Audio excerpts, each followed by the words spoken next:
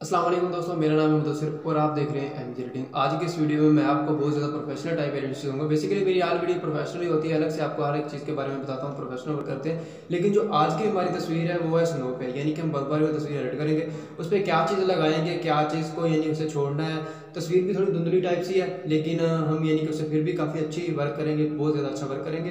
तस्वीर थोड़ा कैमरे की तस्वीर है, इसलिए थोड़ा अच्छा वर्क हो जाएगा। चलिए वीडियो को स्टार्ट करते हैं। वीडियो अच्छी लगे वीडियो को लाइक करें और चैनल को सब्सक्राइब करके बेल आइकन को भी आगे क्लिक कर लें, ताकि मेरी आने वाली तमाम वीडियो की नोटिफिकेशन आपके पास पहुँच जाए। और कमेंट करके मुझे ज़रूर बताया करें कि आपको वीडियो कैसी लगी। चलिए वीडियो को स्टार्ट करते हैं।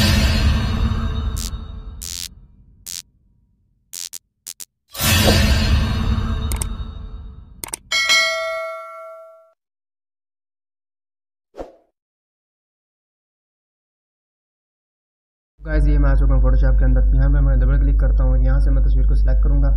तस्वीर को सिलेक्ट करने के बाद ये हम आ चुके हैं कैमरा रॉक के अंदर। अगर आपके पास कैमरा रॉक का फीचर नहीं आता तो वीडियो स्क्रीन पे जो आपको नज़र आ रही है, यहाँ पे आपने वो वीडियो लाजमी वॉच करनी है। वीडियो जब वॉच कर लोगे, आप इजीली आप भी सीख जाओगे कि कैमरा रॉक कैसे ओपन होता है। कैमरा रॉक बेसिकली सिर्फ़ फोटोशॉप सी में होता है फोटोशॉप सी सिक्स में नहीं होता। तो फोटोशॉप सी सिक्स अगर आपके पास है, आप भी कैमरा रॉक इन्जॉय कर सकते हैं, कैमरा रॉक के फीचर से फ़ायदा उठा सकते हैं। चलिए वीडियो को स्टार्ट करते हैं। अब यहाँ पे क्या करना, क्या है? यहाँ पे कॉन्ट्रैक्ट को आपने थोड़ा सा तेज़ करना है। ये देख तस्वीर काफ़ी अच्छी हो चुकी है और हाईलाइट को आपने थोड़ा सा कम कर देना है। और शेडो को आपने थोड़ा छोड़ देना है ब्लैक को थोड़ा सा आपने कम कर देना है। अब आगे क्या करना है? अपने शेडो पे वर्क करना है। शेडो को थोड़ा सा उठा के देख लें या कम करके देख लें। कम करेंगे तो ज़्यादा अच्छा आ रहा है। वाइट को भी थोड़ा सा आपने कम कर लेना है। सही है? बिल्कुल थोड़ा सा। यहाँ से वाइट को रहने दें। वाइट को छोड़ दें माइनस ज़ीरो कर दें। सही है? सॉरी अब यहाँ पे आपने सेचुरेशन में जाना सेचुरेशन में जाने के बाद ऑरेंज को आपने थोड़ा सा बिल्कुल कम करना है। ज़्यादा कम नहीं करना है। यहाँ से फाइव कर लें। एट को छोड़ दें। फाइव कर लें। फाइव माइनस कर लें।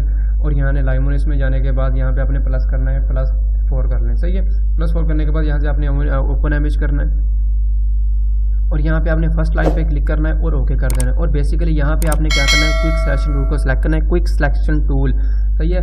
यहाँ से आपने इसी साइज़ को बर्श के साइज़ को बड़ा करना है। और यहाँ पे ऐसे, आपने ऐसे पेंट कर देना है, ऐसे। नीचे की तरफ़ कर देना। ये आल स्लाइज खुद ही कर लेगा। अगर आपको स्लाइज करने का तरीका फुल तरीका नहीं पता, अगर यहाँ से स्लाइज ख़राब हो गई है या माइनस ऐसे हो गई है तो कैसे रिकवर करते हैं, कैसे सेट करते हैं तो स्क्रीन पे आपको वीडियो नज़र आ रही है, आपने लाजमी वॉच कर लेनी है। इसीलिए आप यहाँ भी सीख जाओगे। ये मैं जल्दी में स्लाइस लगा के कटआउट कर लेता हूँ। आपको एक चीज़ बता दूँ कि स्लाइस लगा के आपने इसके ड्रेस को भी अलग से कटआउट करना है, यानी कि आल चीज़ को आपने अलग से कटआउट करना है। सिर्फ़ पर्सन को नहीं करना है, इसके ड्रेस वगैरह को भी अलग से कटआउट करना है। चलिए मैं जल्दी में कर लेता हूँ। तो गाइज़ ये मैंने स्लाइस लगा कटआउट अलग से कर ली है, यानी कि इनकी सबकी अलग से लेयर बना रही है। ये देखें ये कैप की लेयर है और ये ड्रेस वगैरह की लेयर है, सही है? इन्हें मैंने अलग से नहीं किया, एक ही लेयर में सब ड्रेस को लगा दिया, सही है? अब आपने क्या करना है? जो लेयर वन है, आपके पास लेयर वन बन जाती है, यानी कि ओरिजिनल पर्सन वाली लेयर आपने क्या करना है? यहाँ पे अपने कीबोर्ड से कंट्रोल को प्रेस करना है और अपने माउस से जो ज़्यादा यूज़ होने वाला बटन है कई लोगों को पता नहीं चलता वो बटन कौन सा दबाना है। तो जो जो ज़्यादा यूज़ होने वाला बटन है, भाई जो आप यानी कि इस मशरक़ की तरफ़ करोगे सॉरी मगरब की तरफ़ करोगे तो आपके यानी कि बाएँ हाथ पे आता है बटन, सही है? वो वाला बटन आपने प्रेस करना है, ऐसे कंट्रोल प्रेस करके वो वाला बटन प्रेस करोगे ऐसे तो ये देखिए स्लाइश वापस आ चुकी है। अब ये स्लाइश वापस लेके आने के बाद आपने क्या करना है? यहाँ से आपने क्या करना है? एक न्यू लेयर बनानी है क्रिएट न्यू लेयर पे, सही है? खाली न्यू लेयर बनाने के बाद यहाँ से आपने क्या करना है? मिक्सिंग ब्रश टूल को सिलेक्ट करना है। एक दोस्त का मैसेज आया था कि भाई यार, आप मिक्सिंग ब्रश टूल के अलावा एक और चीज़ पे बर बर वाले पे, यानी कि ब्लर वाले पे फेस को रीच करते हैं तो वो भी बताएँ। भाई वो फेस को होता है अलग अलग जैसा फेस होगा उसके हिसाब से करते हैं। अब अच्छे वाला फेस होगा तो वो उससे ब्लर वाले से भी हो जाएगा। सही है? अब हमने इस फेस के हिसाब से हमने क्या करना है? मिक्सिंग मिक्सिंग ब्रश टूल को सिलेक्ट करना है। मिक्सिंग ब्रश टूल को सिलेक्ट करने के बाद आपने अपने कीबोर्ड से यानी कि ऐसे कीबोर्ड से अल्ट प्रेस करेंगे और माउस को माउस का दूसरा बटन क्लिक करके अपने इस तरफ़ लेके जाएँगे साइड को तो ये साइज़ बड़ा होता जाएगा। सही है? नहीं तो अपने कीबोर्ड से साइज़ बड़ा कर लें तो माउस को राइट क्लिक करें। लेफ़्ट क्लिक करें तो यह यहाँ यहाँ से आपने राइट क्लिक करने के बाद यहाँ से आपको इंटरेस्टिंग भी मिल जाएगी और साइज़ भी मिल जाएगा जितना आपने रखना है। सही है? अब आपने फेस के ऊपर फुल जूम करना है। जूम करने के बाद आपने यहाँ पे इजीली वर्क शुरू करना है। यहाँ से ऐसे वाइब्रेट कर देना है। इस पर भी मेरी बहुत सारी वीडियो है, आपको यूट्यूब पे मिल जाएँगी। आप जो मेरा चैनल विज़िट करोगे तो मेरे भाई आपको बहुत सारी वीडियोस मिल जाएँगे मेरे यूट्यूब चैनल पे। और वहाँ पे अगर आप सीख जाओ वहाँ पे अगर आप पहुँचोगे तो इसमें मैं आपको फुल नहीं बताऊँगा, लेकिन आपको जो रिटच वाली लेयर होगी, यानी कि वीडियो होगी, उसमें ऐसा आपको तरीका बताया है मैंने कि आप एक ही वीडियो में आप मास्टर बन जाओगे भाई, इंशाल्लाह। लाजमी आप वीडियो वो वाली भी वॉच कर लेना। इसमें मैं जल्दी में कर लेता हूँ, लेकिन आपको बेसिकली ये तरीका बता देता हूँ कि आपने यहाँ से इसे पकड़ना है वाइब्रेट ही करना है, बस। और कुछ नहीं करना है। लेकिन वीडियो लाजमी बात कर लेना, दूसरी आप इजीली सीख जाओगे। तो काज मैंने फेस को रिटेच भी कर लिया। अब हमने क्या करना है? लेयर वन पे फिर से क्लिक करना है। क्लिक करने के बाद हमने क्या करना है? इमेज पे जाना है एडजस्टमेंट में जाना है और यहाँ से सिलेक्टिव कलर पे जाना है। सिलेक्टिव कलर करने के बाद हम यहाँ पे ब्लैक पे जाएँगे और ब्लैक को थोड़ा सा इंक्रीज कर देंगे। सही है अब अपने ये चीज़ प्रोसेस आप यहाँ पे इमेज पे जाने के बाद एडजस्टमेंट में जाने के बाद लेवल या कवरेज पे भी कर सकते हो, लेकिन सिलेक्टिव कलर अच्छा है।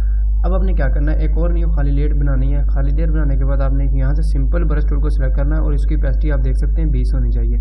और यहाँ से आपने रेड कलर को सिलेक्ट कर लेना है और इंटर से ओके कर देना है। अब अपने लिप के ऊपर बिल्कुल जूम करना है फुल अब यहाँ से एक ही बार में आपने पेंट करना है। बिल्कुल ज़्यादा पेंट नहीं करना है। एक ही बार में आपने ऐसे पेंट कर देना है। पेंट करने के बाद यहाँ से आपने कलर पे सिलेक्ट करना है और ओपेसिटी को इसकी कम कर देना है। और वी प्रेस करेंगे तो ये आ जाएगा ओके अब आपने क्या करना है? कंट्रोल करके फ़ाइल को सेव कर लें ये चीज़ लास्ट में अब हमने बैकग्राउंड को सिलेक्ट करना है। बैकग्राउंड को सिलेक्ट करने के बाद हमने डस्ट वगैरह को डार्क करेंगे। बैकग्राउंड में जल्दी मैं सिलेक्ट कर लेता हूँ। तो बस ये वाला बैकग्राउंड है जो हम इस तस्वीर के बैक साइड पे लगाएँगे। यहाँ से मैं इस बैकग्राउंड को उठाता हूँ। उठाने के बाद, यहाँ पे ऐसे पेस्ट करने के बाद इसके साइज़ को ऐसे बढ़ा देता हूँ। साइज़ को बड़ा करने के बाद, ऐसे फिट करने के बाद मैं इसकी लाइट को बिल्कुल नीचे की लेकर, लेयर पे लेके जाऊँगा, लेयर वन के भी नीचे, सही है? ऐसे ये देखिए बैकग्राउंड में फिट हो चुका है। अब लेकिन ये हाउस जो पीछे थे, वो नज़र नहीं आ रहे तो हम क्या करेंगे? इसके यहाँ पे क्लिक करेंगे इसे।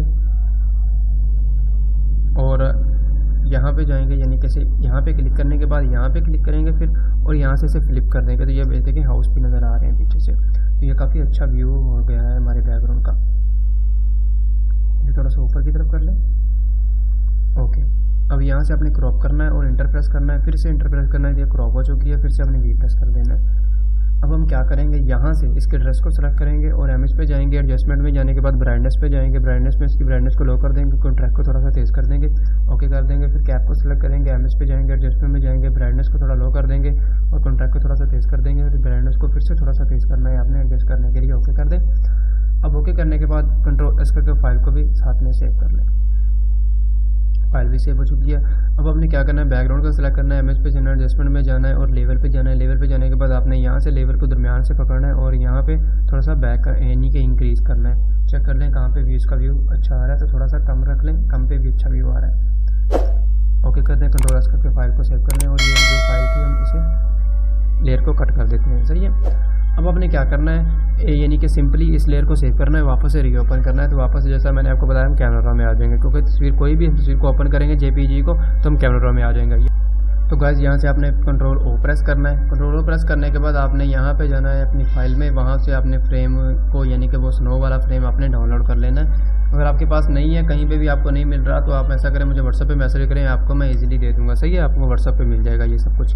बैकग्राउंड भी और ये स्नो वाला भी। यहाँ से आपने ओके करना है। यूज़ पे क्लिक करना है और ओके कर देना है। अब यहाँ से उठा के हम तस्वीर के ऊपर लेके आएँगे। यहाँ से आपने इसके साइज़ को बड़ा करना है फुल और यहाँ पे प्रेस करना है, और यहाँ से इसे प्रेस करना है, और यहाँ से इमेज पे जाने के बाद हम स्क्रीन पे कर देंगे। सही है? अब इसे ओके कर दें। तो ये थोड़ा सा टाइम लेगा तो ये ओके हो चुका है। सही है? ये देखिए, काफ़ी अच्छी वाली तस्वीर हमारी बन चुकी है। अब हम क्या करेंगे?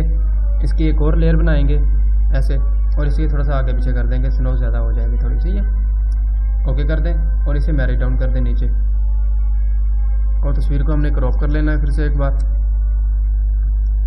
क्या करना है? सिंपली यहाँ पे ओरिजिनल लेयर पे क्लिक करना है। यहाँ से कंट्रोल प्रेस करके स्लाइस लेके आनी है इसकी।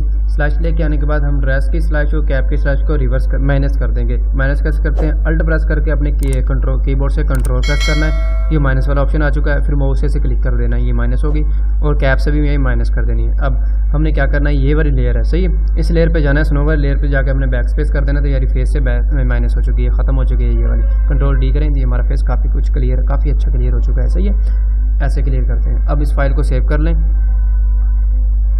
और इस फ़ाइल को हम वापस से स्नो वाली को डिलीट कर देते हैं। नो सही आप इसको जेपीजी में भी सेव कर लें, वापस से रीओपन करें। मैंने तस्वीर को वापस से रीओपन किया तो हम कैमरा में आ चुके हैं। कैमरा में आने के बाद हम क्या करेंगे? यहाँ से कॉन्ट्रैक्ट को थोड़ा सा तेज़ कर देंगे हाईलाइट को थोड़ा सा कम कर देंगे शेडो को छोड़ देंगे हाई वाइट को छोड़ देंगे ब्लैक को थोड़ा सा कम कर देंगे और शेडो को यहाँ से थोड़ा सा इंक्रीज़ करेंगे, सही है? और वाइट को थोड़ा सा हम कम करेंगे, सही है? क्लैरिटी को थोड़ा सा इंक्रीज़ करेंगे। क्रेडिट को इंक्रीज़ करने के बाद फैक्स में जाएगी और यहाँ पर इमोट को मैं क्या करूँगा? थोड़ा सा कम कर दूँगा, सही है? तो कम करने के बाद यहाँ पे जाऊँगा सेचुरेशन में जाऊँगा और यहाँ पे ऑरेंज को थोड़ा सा कम कर दूँगा, बल्कि ज़्यादा कर दिया थोड़ा सा करना है। अब यहाँ से लाइमोन इसमें जाने के बाद हम ऑरेंज को थोड़ा सा ज़्यादा कर देंगे। सही है? और यहाँ से ओपन एम पे क्लिक करेंगे। यहाँ पे फ़र्स्ट लाइन पे क्लिक करेंगे और ओके कर देंगे। सही है? ओके करने के बाद इस फ़ाइल को उठाएँगे और यहाँ पे जाके से छोड़ देंगे। ये देखिए हमारी तस्वीर कैसी बन चुकी है। अब सेव कर सकते हैं कंट्रोल करके सेव कर लें। पहले इसे कट करना होगा, आपको फिर कंट्रोल शिफ्ट प्रेस करके आप इस फ़ाइल को सेव कर सकते हैं। ऐसे, और यहाँ पे हम जेपीजी को सिलेक्ट करेंगे, और यहाँ पे हम क्या करेंगे सेव पे क्लिक कर देंगे ओके कर देंगे, और ओके कर देंगे, ये हमारी तस्वीर सेव हो चुकी है। अगर कुछ चीज़ समझ, अगर आपको कुछ चीज़ समझ नहीं आए तो मुझे लास्ट में पूछ लेना। तो मेरी लिंक आपको डिस्क्रिप्शन मेरे नंबर की लिंक आपको डिस्क्रिप्शन में मिल जाएगी और अदर चीज़ों की लिंक भी डिस्क्रिप्शन में मिल जाएगी। इंस्टाग्राम की फेसबुक पेज की व्हाट्सएप ग्रुप की, आप मुझे लास्ट में फॉलो कर लेना। अगर ये बैकग्राउंड सुनो वगैरह चाहिए तो आपको ये फ्री में मिल जाएँगे। मुझे व्हाट्सएप पर मैसेज कर देना, सही है? और अगर कोई वीडियो में कुछ चीज़ भी समझ है तो वीडियो को लास्ट में लाइक करें और चैनल को भी सब्सक्राइब कर दें। तो मिलते हैं किसी नेक्स्ट वीडियो में। अपना ख्याल रखिएगा। अल्लाह हाफिज़।